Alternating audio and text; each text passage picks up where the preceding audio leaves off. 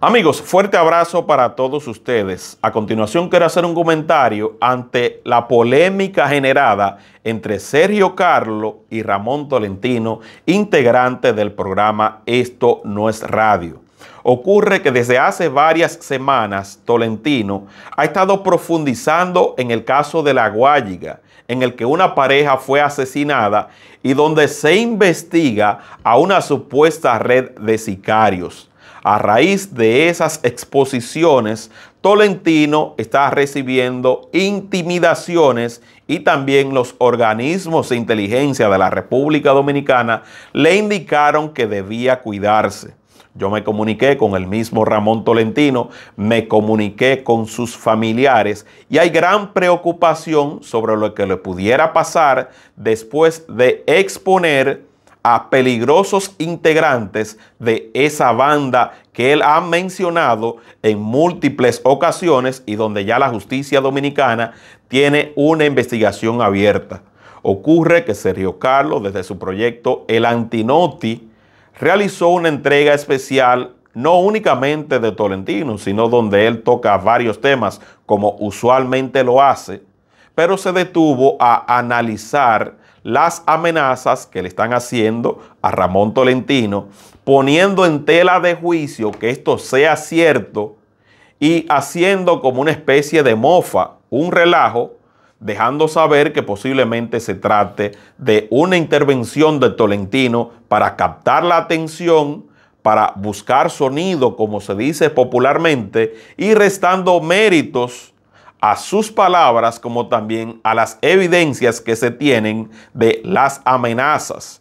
Yo tengo entendido que incluso el presidente de la República Dominicana ordenó que se proteja, que se preserve a Ramón Tolentino y que se dé curso y se llegue hasta las últimas consecuencias de esas amenazas con las que se pretende arrebatarle la vida o con las que se pretende atentar contra su familia.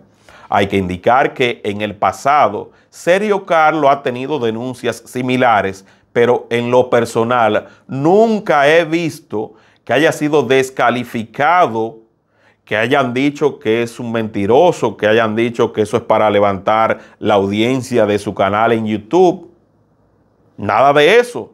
Sergio Carlos ha dicho que, por ejemplo, la familia de expresidente Danilo Medina, desde ese sector, un hermano le estuvo amenazando y muchas personas fueron solidarias con Sergio. Nadie puso en duda, por ejemplo, que a su casa se le hayan metido a robarle computadoras y otros objetos de valor. Nadie salió a decir, Sergio Carlos está hablando mentira. Sergio Carlos está utilizando su medio para catapultarse. Sergio Carlos no está diciendo la verdad. Entonces, ante estos acontecimientos, yo entiendo que lo oportuno es investigar, acercarse al mismo Ramón Tolentino, acercarse a su familia. Sergio Carlos es una persona que posee fuentes en todos los estamentos de este gobierno y puede corroborar si ciertamente Tolentino ha estado recibiendo o no esas amenazas. Pero utilizar su espacio para mofarse, para reírse, no está bien, Sergio. Así como también otros comunicadores que han seguido esta tendencia. Yo puedo entender que quizás Ramón Tolentino no sea de su agrado. Yo puedo entender que el mismo proyecto que es propiedad de Santiago Matías, a mucha gente no le caiga bien, pero de ahí a minimizar un posible atentado del cual puede ser víctima una persona en la República Dominicana con facilidad, porque se ha evidenciado que periodistas en República Dominicana han recibido ataques que incluso han terminado con su vida, que no es desde ahora, desde la época de Balaguer, a los que exponen las mafias de este país, su vida les corre peligro. Entonces, descalificar eso, mofarse de eso, reírse, burlarse, no hace otra cosa que hacerle un flaco servicio para que cuando pase, Dios libre, algo así, pues entonces la gente lo tome a chiste y la gente entienda que todo se trataba de un relajo y no le den la connotación que se debe dar ante la amenaza de cualquiera de nuestros compañeros. Ustedes han visto que no es la primera vez que yo soy solidario. Eso, he sido solidario con mis amigos de Somos Pueblo, he sido solidario con Rafael Guerrero, he sido solidario con múltiples colegas que se han visto en situaciones de peligro. Porque cada vez que se toca un tema sensible, se hiere a un sector y con esto uno juega con muchos intereses y el crimen organizado en la República Dominicana está más organizado que nunca. Según datos preliminares, esa misma banda que le arrebató la, vida a esa pareja de la Guayiga tiene por lo menos 21 muertes. Muertes que no han sido investigadas como se debe por parte de las autoridades en una red de sicarios bastante amplia. Entonces, en lugar de nosotros ponernos a decir que Ramón Tolentino está hablando mentiras, ¿por qué no nos unimos y le decimos a él que le respaldamos, que nosotros sabemos que existe el riesgo por la manera en que él lo hizo, de que le pueda pasar cualquier cosa?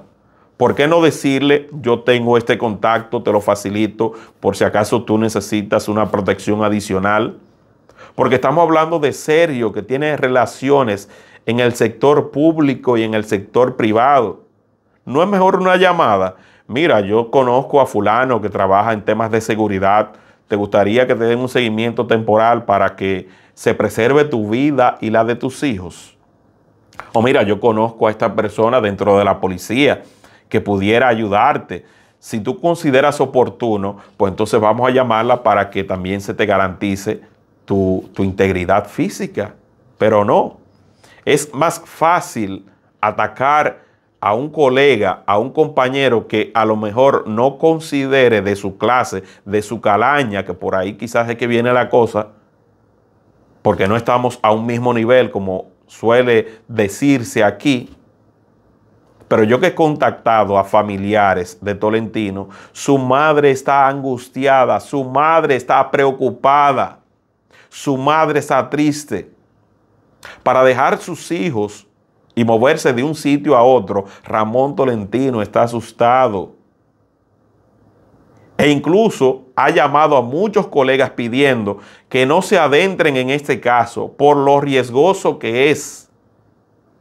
Que no traten de exponerse, que ya lo hizo está pagando las consecuencias de tener que vivir esta agonía, de no saber lo que le pueda pasar por referirse a esa banda.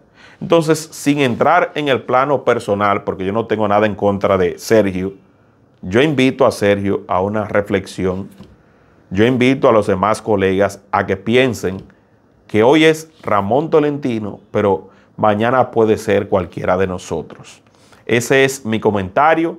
Quiero externar todo mi apoyo, toda mi solidaridad en favor de Ramón Tolentino y entiendo que las autoridades, que el Estado, que el país debe preservarlo y se debe profundizar también sobre esos que le están amenazando, exponerlos ante la opinión pública y someterlos a la justicia. Nos reencontramos en una próxima ocasión. Bye bye.